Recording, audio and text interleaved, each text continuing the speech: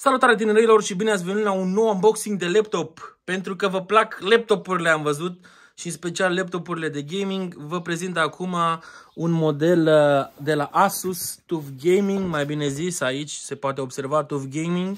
Este brandul ăla un pic mai accesibil de la Asus, că au și ROG, adică Republic of Gamers. Ăsta TUF este brandul ăla un pic mai accesibil. Vedeți, modelul este un FA507R Ăsta este modelul și o să vă spun repejor ce specificații are acest modeluș.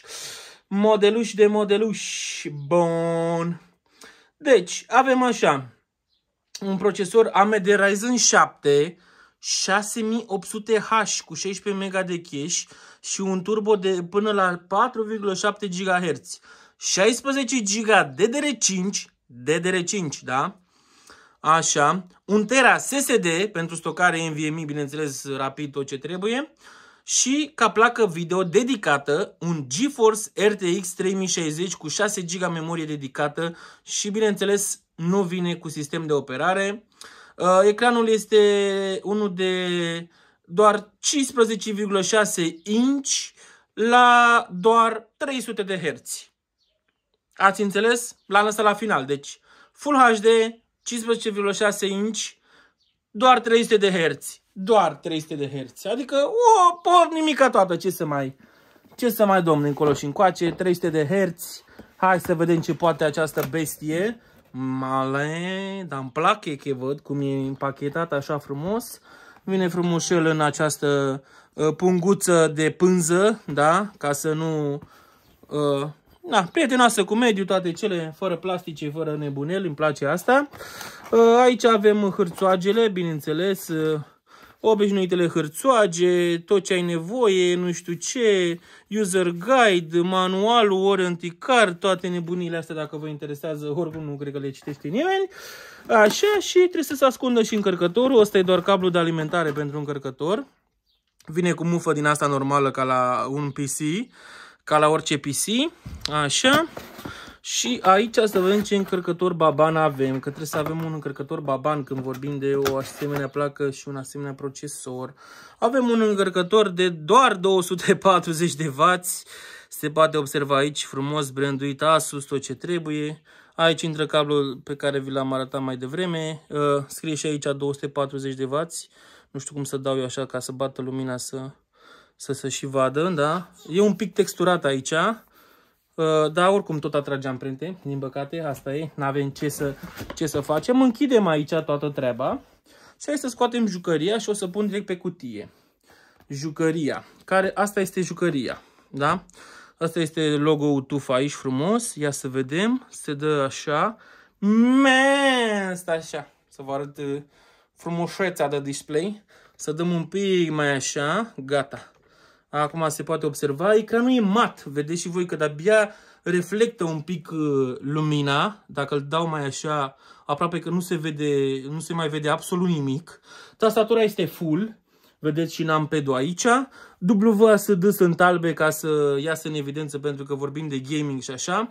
Uh, touchpad-ul ăsta este destul de mare, dar uh, bineînțeles dacă ești gamer o să renunți la el și o să pui un mouse ca atare, poate tot de la Asus, cine știe, sau de la alt producător cu care te înțelegi tu. Uh, aici în partea de sus are și o cameră web și un microfon, două microfoane chiar. Nu, o să, nu cred că o să reușiți voi să le vedeți spale acolo. Poate, cine știe, dacă vă uitați în 4K. Da? Uitați-vă aici. Camera. Un microfon aici, un microfon și aici cred că un senzor de luminozitate. Bun, hai să revenim la 1X. Așa ca să nu stricăm uh, imaginea. Și înainte, voiam să-i dau un power, dar înainte de a-i dau un power, hai să vă arăt ce, cu ce conectivitate vine acest uh, gadget, nu? Uh, bineînțeles o gură de aerisire, că na, trebuie să se aerisească și el cumva. Aici avem uh, alimentarea, portul de internet, HDMI-ul, două, uh, două USB-C, da, de mare viteză din ce văd eu aici. Un USB uh, normal, cred că aici pui mouse-ul, cel mai probabil. Un jack combo pentru căști și microfon. Mai avem iar un USB aici, frumos, iar uh, uh, aerisire, nebunele socoteli. Și în partea din spate, la fel, uh, două grile mari, două grile mari de, de aerisire. Se văd aici, sunt din cupru, nu aluminiu. Cupru și mai se vede și aici, tot așa se mai văd uh, niște hit pipe-uri din astea masive de cupru ca să răcească bestia asta, că na, are nevoie de răcire. Și aici văd un picioruș roșu așa, care na, să-l țină mai ridicat, plus piciorușele de pe margini care să-l țină mai ridicat, să poată să tragă aer de jos și să poată să-l scoată afară prin uh, cele patru guri, dacă am reținut eu bine, de aerisire. Deci se aerisește prin patru guri, trage de jos pe acolo pe unde ați văzut hit pipe-urile alea și aruncă prin uh, extremități, prin spate și prin laterale. Bun. Hai să-i dăm power. Cred că are ceva juice sau dacă nu are juice o să-l băgăm la priză. N-are juice? Aparent n-are juice. Stați așa. Două secunde că rezolvăm imediat. Nu plecați. Că e păcat să plecați. Uh, din ce am văzut o să facă mai ceva ca instalația de Crăciun ăsta. Adică are foarte multe luminițe. Stați și să mă duc eu să-l bag la priză.